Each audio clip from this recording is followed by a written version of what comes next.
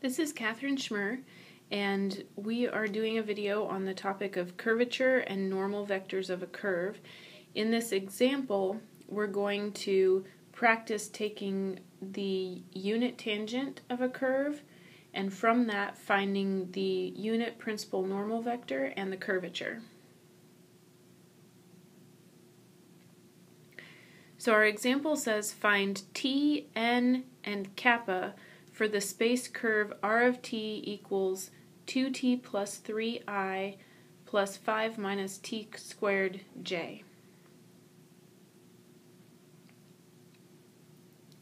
So remember, by definition, the unit tangent vector capital T of lowercase t equals the velocity divided by the magnitude of velocity.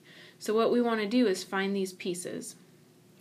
Velocity, v of t, equals the derivative of position. So the derivative of 2t plus 3 gives me 2i, and the derivative of 5 minus t squared j gives me minus 2tj. So velocity is 2i minus 2tj, and now I want the magnitude. So the magnitude of velocity equals the square root of 2 squared plus quantity negative 2t quantity squared. This is equal to the square root of 4 plus 4t squared. And I can factor out the 4 from both of those pieces and then take the square root of it. So I get 2 square root of 1 plus t squared. So that's my simplified magnitude of velocity.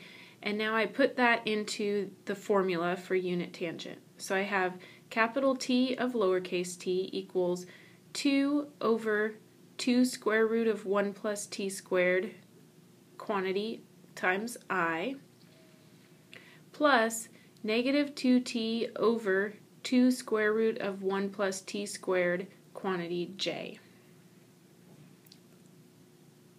Now the 2's cancel, so I get the unit tangent vector, capital T of lowercase t, equals 1 over square root of 1 plus t squared i plus negative t over square root of 1 plus t squared j.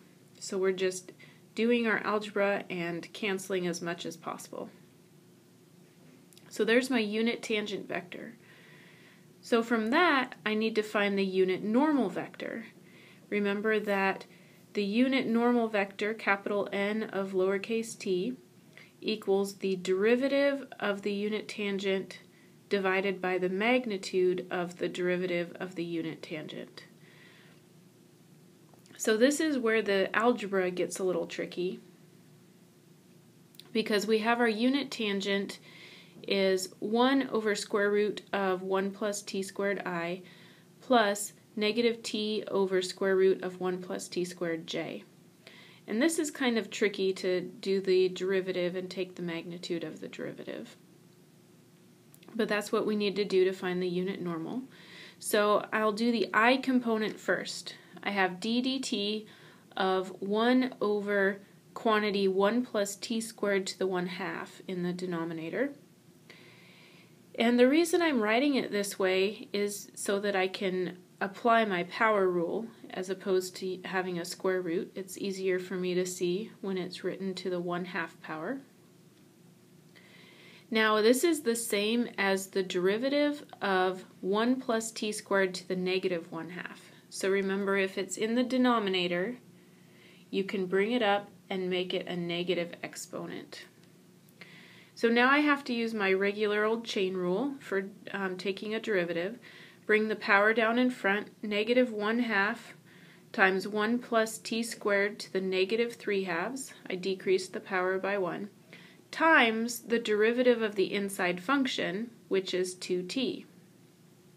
The 2t is the derivative of 1 plus t squared. So now I simplify. The 2's are going to cancel. And remember, this was the chain rule, f prime u times u prime.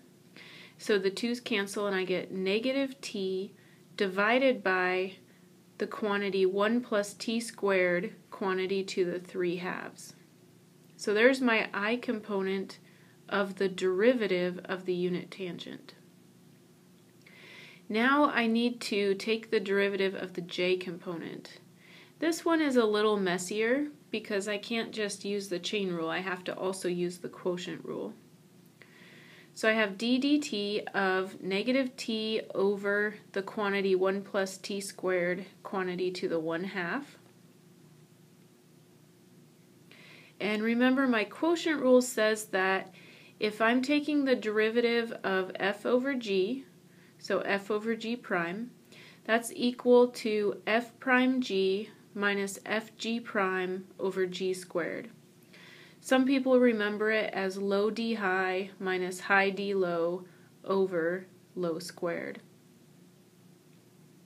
So the derivative of the top function is negative 1, because my top function is negative t.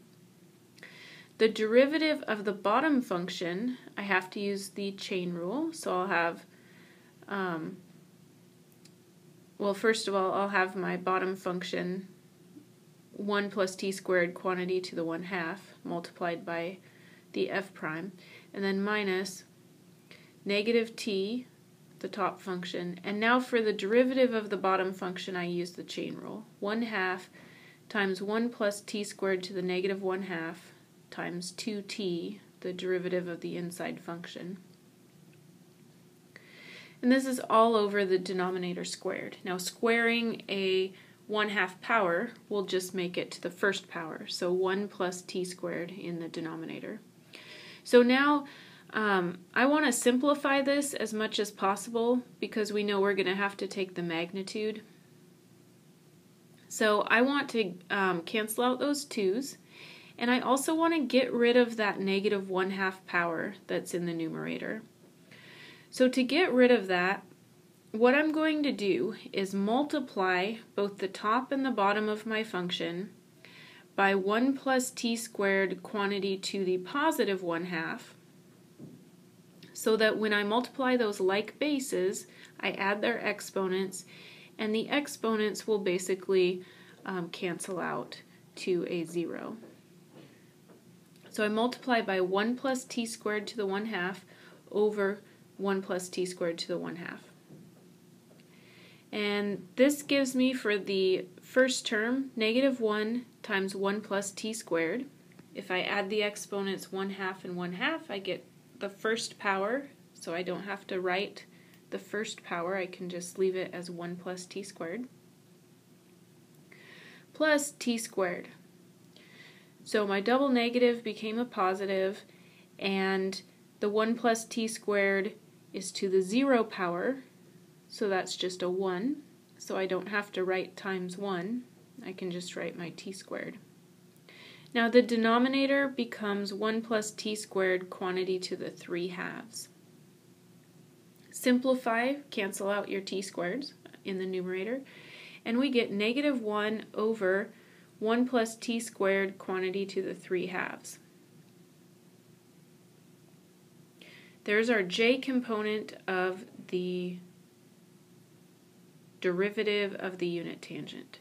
So now we have t capital T prime of lowercase t equals negative t over 1 plus t squared quantity to the 3 halves i plus negative 1 over 1 plus t squared quantity to the 3 halves j.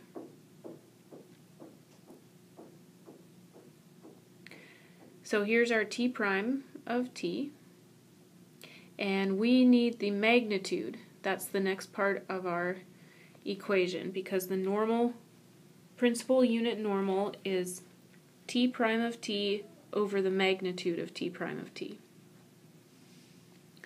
So I have the magnitude of t prime of t equals the square root of each component squared, so t squared over 1 plus t squared to the third power. So I'm just squaring the i component, both top and bottom, uh, and putting it underneath the square root. Now I'll do the same thing with the j component. So I have still under the square root plus 1 over 1 plus t squared quantity cubed. So just squared the i component and squared the j component, added them together underneath the radical.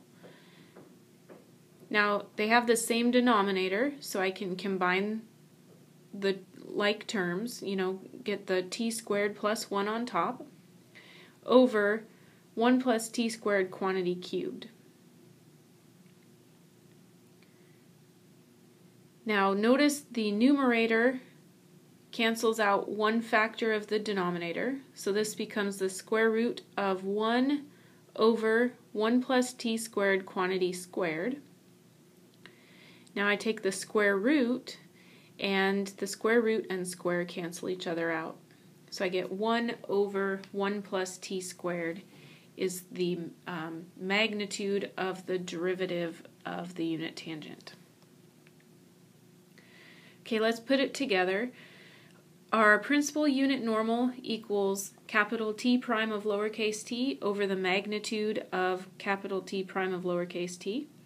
So that's negative t over 1 plus t squared quantity to the 3 halves. And dividing by the magnitude 1 over 1 plus t squared is the same as multiplying by its reciprocal 1 plus t squared over 1. So I'll do that. So times 1 plus t squared over 1, i, plus negative 1 over 1 plus t squared quantity to the 3 halves times the reciprocal of the magnitude, so times 1 plus t squared over 1, j. And now just simplify. The 1 plus t squared in the numerator will cancel out one factor of the 1 plus t squared in the denominator. So I get the principal unit normal vector, capital N of t, equals negative t divided by the square root of 1 plus t squared, i, plus negative 1 over the square root of 1 plus t squared, j. There's my principal unit normal vector. So lots of algebra, but working through the algebra, you should get some nice cancellations so that you end up with a not too messy result in the end. Now, the third part of the question asks for curvature. And we know the curvature, kappa, equals 1 over the magnitude of velocity times the magnitude of the unit tangent. So we have all of these pieces and we just have to put it together. So kappa equals 1 over 2 square root of 1 plus t squared, that was the magnitude of velocity, times 1 over 1 plus t squared, that was our magnitude of the derivative of the unit tangent. So we put that together and we get 1 over 2 times 1 plus t squared to the 3 halves. So there's my curvature. 1 divided by 2 times the quantity 1 plus t squared, quantity to the 3 halves.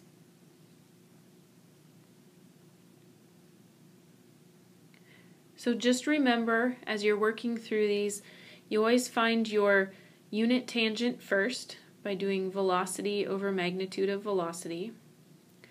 Then find your unit normal by doing the derivative of the unit tangent divided by the magnitude of the derivative of the unit tangent.